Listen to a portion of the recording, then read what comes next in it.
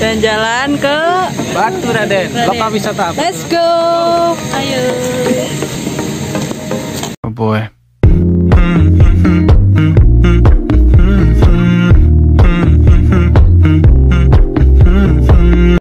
Hai guys, jalan-jalan kali ini aku sama rombonganku naik Trans Banyumas. Eh, mulai startnya aku di Patik Raja menuju terminal Batu Raden. Kita OTW ke lokal wisata Batu Raden. Yeay, akhirnya sampai di lokal wisata Batu Raden. Setelah sampai di Terminal Batu Raden, tadi kita lanjutkan naik angkot dengan harga 5000 Wah, di depan lokal wisatanya banyak yang jualan nih guys. Mantap. Ini dia pintu masuk lokal wisatanya.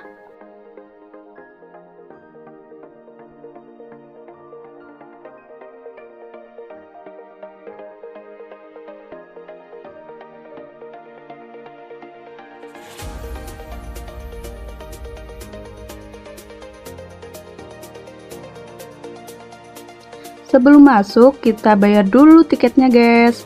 FYI, guys, kalau harga tiketnya weekday 20.000 aja. Kalau weekend 25.000. Karena aku sama rombongan di hari Sabtu ke sininya, jadi masuk ke weekend bayar 25.000. Dan untuk anak kecil nggak usah bayar, gratis. Setelah bayar tiketnya, mari kita masuk, guys.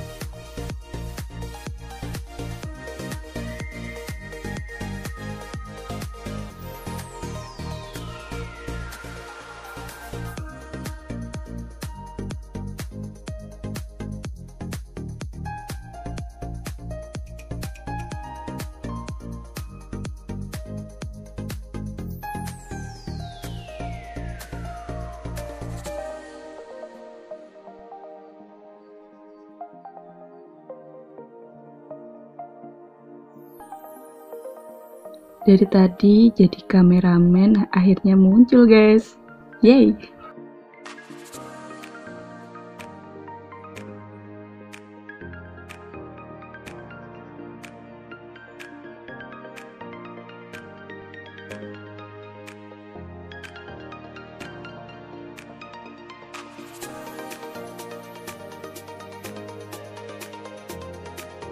Baru aja masuk udah ditawarin foto-foto kenangan nih guys. Harganya sekitar mulai dari 10.000 atau 15.000 ke atas.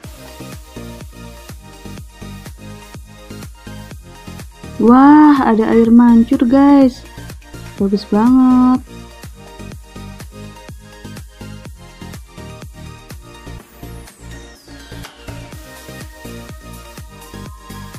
Wah, ada air mancur juga nih guys di patung ikan.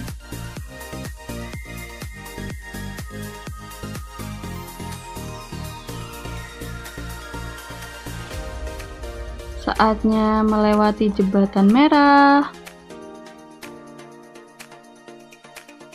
Kayaknya bagus deh foto-foto di jembatan merah. Aduh, awkward banget sih aku.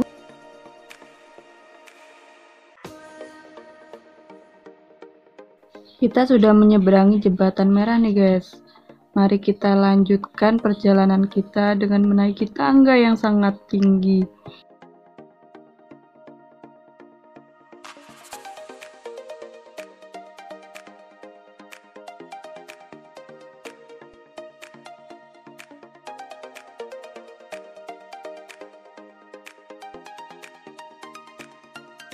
Tanteku sama adekku lomba lari nih guys. Ayo, siapa yang menang duluan? Akhirnya sampai di ketinggian entah berapa meter. Ini dia pemandangan dari atas. Nah, itu dia kota Purwokerto dilihat dari ketinggian entah berapa meter ini.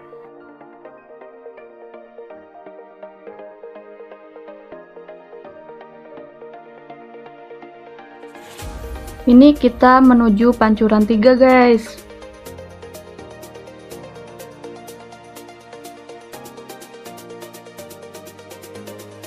Wah, di tengah jalan ada air yang meluap-luap nih guys. Kenapa ya? Kok bisa gitu? Mari kita lanjut perjalanan kita ke pancuran 3. Ye, si bocil lari tuh. Tuh, sangat capek guys nih guys. Rombongan kami. Akhirnya sampai guys. Ternyata ada pintu masuk lagi guys. Berarti kita harus bayar nih guys. Karena ternyata bayar lagi, kita memutuskan pindah tempat guys. Ini di depan lokasi terapi ikan. Hanya membayar 5000 aja kalau mau terapi di sini guys. Kita mampir ke toilet dulu. 2000 aja. Ini kita lanjut naik tangga menuju jembatan paling tinggi di sini. Ayo, ayo, semangat, semangat. Ini sangat capek, guys.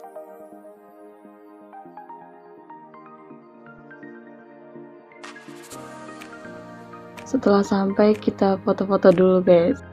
Lanjut kita susurin jembatannya, guys. Ini pemandangan dari atas jembatan ya, guys.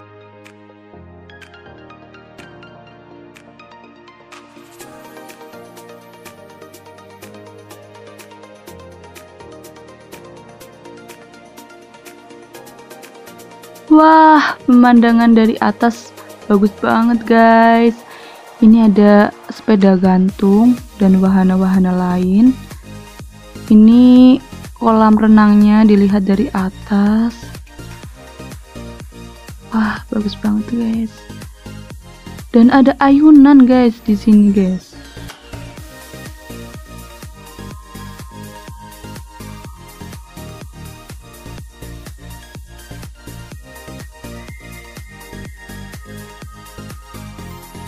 Di atas juga banyak yang jualan jajanan.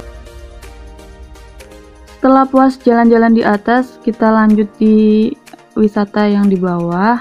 Ini ada jembatan Batu Raden, dilihat dari bawah, ada air mancur, dan ada patung.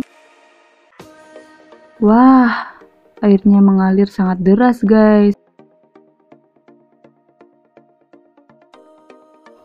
Jembatan yang tadi kita lewatin, yang jembatan merah tadi yang pertama. Wah, semakin siang menuju sore, semakin banyak pengunjung nih guys. Tanteku lagi minta difoto ini guys. Hehe, main-main air nih guys.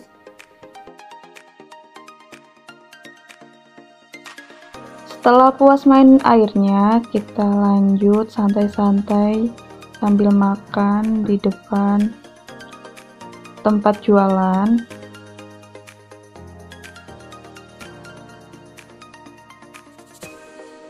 Ini kita berhadapan langsung di air terjunnya guys. Sambil melihat pemandangan. Oke kita sudah naik bus lagi nih bus Y. Trans Banyumas. Kita menuju ke Patik Raja untuk pulang karena kita menitipkan sepeda motornya di pasar Patik Raja. Kita otw guys. Oh ya ini kita dari terminal Batu Raden. Cus kita jalan. Oh ya, sekedar mengasih tahu kalau kita naik Trans Banyumas atau Trans di mana pun di kota kalian yang sudah ada, sistemnya setiap beberapa menit kita akan berhenti di tempat-tempat yang sudah ditentukan.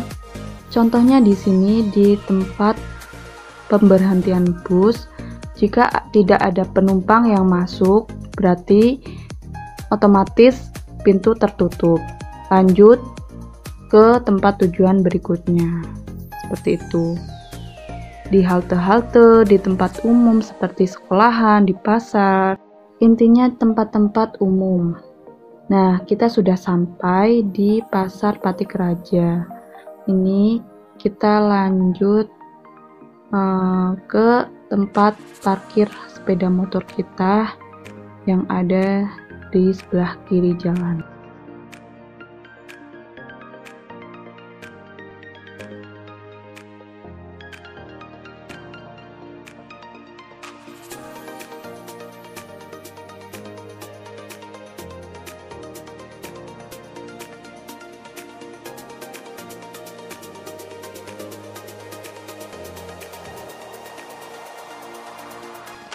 Ini dia penitipan motor kita.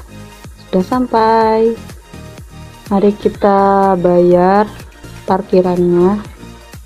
Mungkin itu saja video vlog kali ini. See you next time.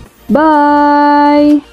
Jangan lupa videonya di like, komen, dan di share teman-teman dan di subscribe channel ini. Terima kasih.